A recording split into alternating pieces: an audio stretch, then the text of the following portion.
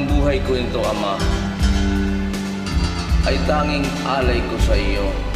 Kayo na pong bahala sa amin at iligtas niyo po kami. Ang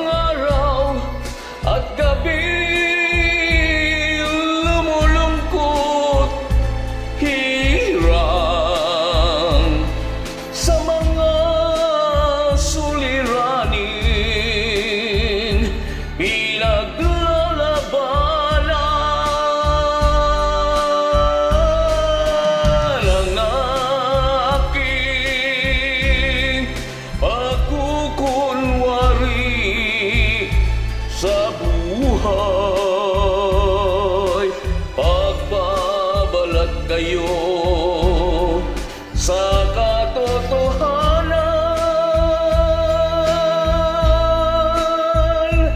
Anong man ang aking magiging kapalaran? Tanging Diyos lamang